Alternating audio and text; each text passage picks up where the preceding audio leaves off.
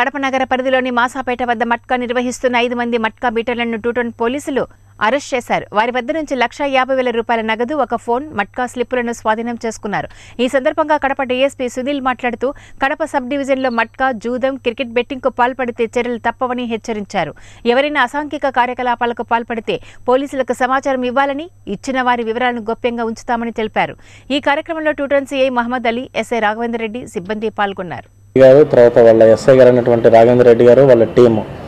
వీళ్ళందరూ కూడా రౌండ్స్ నిమిత్తం బయటకు వచ్చేసి మొత్తం తిరుగుతూ ఉన్నప్పుడు కొంతమంది వ్యక్తులు ఒక చోట కూర్చొని కొన్ని నెంబర్లు గేమ్ ఆడుతూ కనపడుతూ కనపడ్డారు.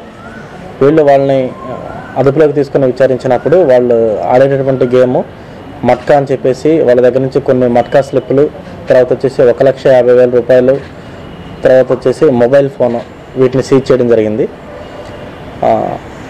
ఈ అదుపులోకి తీసుకున్నటువంటి వ్యక్తులు ఒక లేడీ నలుగురు నలుగురు జెంట్స్ మొత్తం ఐదుగురిని అదుపులోకి తీసుకున్నారు.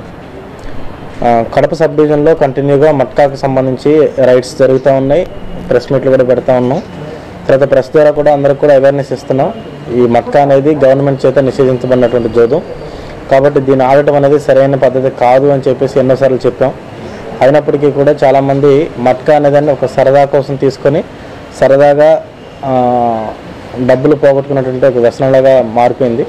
కాబట్టి ఈ మట్కా అనేటటువంటి జోదాన్ని ఆడుతున్నటువంటి ఎవరైనా సరే పోలీసు వాళ్ళు గమనించినా లేదంటే మీడియా వాళ్ళు మా దృష్టికి తీసుకొచ్చినా లేదంటే సామాన్య ప్రజలు ఎవరిస్తైనా ఎవరైనా మా దృష్టికి తీసుకొచ్చినట్టయితే దాని మీద తప్పకుండా కఠినమైనటువంటి చట్టపరమైన చర్యలు తీసుకుంటామని చెప్పేసి ఈ సందర్భంగా తెలియజేస్తున్నాం.